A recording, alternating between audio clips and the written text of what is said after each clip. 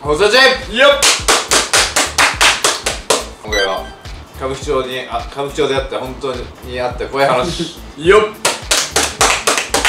本コアですね。本校は本校は。夏だし。夏連でなんか僕が歌舞伎来てまずびっくりしたのが道の通り歩いてたらその明らかにがたいのいいな30代ぐらいの男の人が5人くらいこうエンジン作ってなんか話しててで通りざまに「何話してるんだろう?」って聞いたら「お前らしっかりしろよ俺らヤクザなんだから」って言ってて周りの人が「おっす!」って言っててうわ本物の人たちだ。あってびっくりしました。ヤクザね、はい。うん。でこんな道の真ん中でそんなこと言うんだってびっくりしましたね。確かに。で10年前とかはそれこそなんかキャッチやっちゃいけない場所とかもすごかったから、ちょっとでも間違えたらもうぶん殴られる。カラオケの前でもそのカラオケのバックのやつが出てきてそのテリトリーがすごかった。そうなんですか。そういうのではちょっと大変です。大変ですよ。もう案内所みたいなこの紙欲しいですよね。そうそうそうそう。ここは OK ですみたいな。キャッチでのなんか揉め事は多かったっすね。10年前とかは。でもなんかと途中からキャッチ禁止になってで店の名前出しちゃダメみたいな。自分の店の名前出しちゃダメなんだけどなんか俺がいた店のなんかキャッチ得意なやつっているの各店舗に。で自分の店じゃなくて別の店の名前を語って自分の店じゃなかったらつもし警察入っても分かんないだろうみたいな。で本当に入ったんですよ。適当に行ってた店に。で A 店になってその店が。やば。で誰だみたいになるじゃないですか。うん。で特定されて、うん女の子が言うからあああの人ですみたいなで今乗り込んでくるわけですよ。裏のケツ持ちの人たちが営業中に。はい。でそいつはいなかったよその日はね。でもこう来たからまず謝りに行けって言われててうんその社長に。でその日に謝りに行ったんですよ。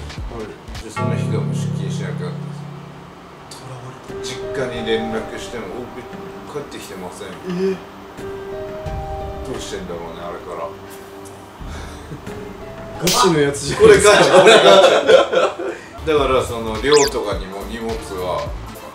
置きっぱなし怖い。でもそのまま謝りに行かずに逃げたか。ああそっか。まあどっちか考えられるよそうですね。本当に謝りに行ってどっか行ったら。さらわれたってさらわれちゃった。それ怖かったよ。一昔前だとその裏とホストクラブってズブズブの関係ですなんかどうなんだろう。店によるんじゃない？歌舞伎町ってあんまないよねそういう地方の方がある。ありますね。でもこの間ありましたよね。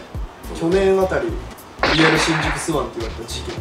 あありましたよね。スカウトがヤクザの人を袋叩きにしてでその報復でスカウト狩りみたいな歌舞伎町で起こってこれ怖いなって思いましたね。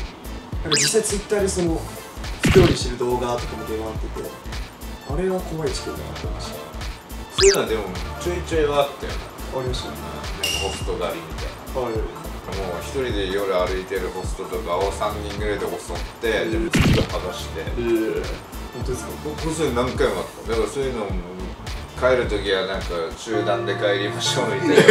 集団いや本当に。え一度もやられたことはない？ないっすね。あないんですね。絡まれたことないっすね。で2部はだからそういうのももっとないじゃん。おお昼だし。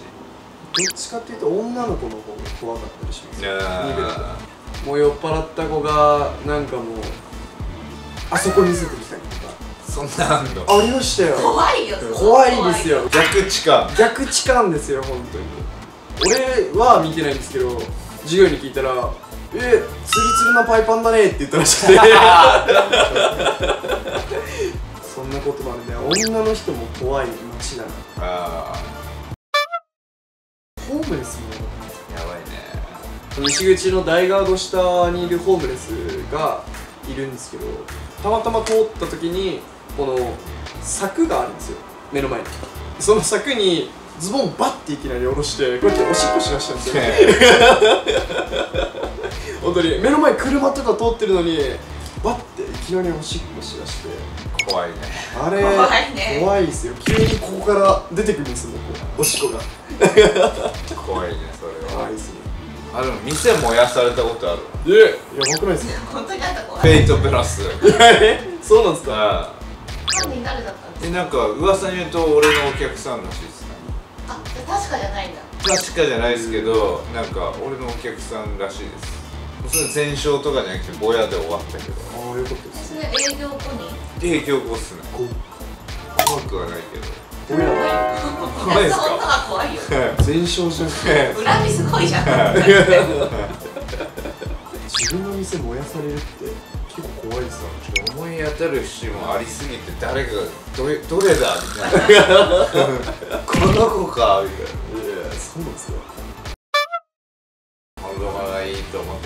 チャンネル登録高評価お願いします。お願いします。お疲れ様でした